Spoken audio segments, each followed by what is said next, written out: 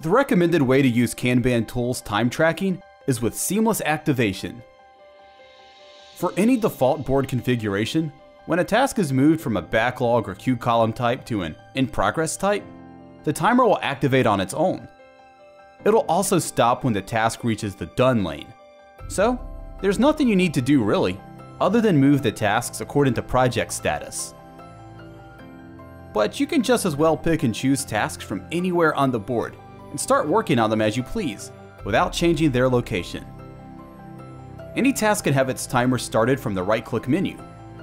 And since a single user can only time one task at a time, as soon as you start recording time on a new task, the previously timed one will be stopped. You can also manage your time recording from My Work widget. Task timers can be paused, started, edited, or removed from this single spot.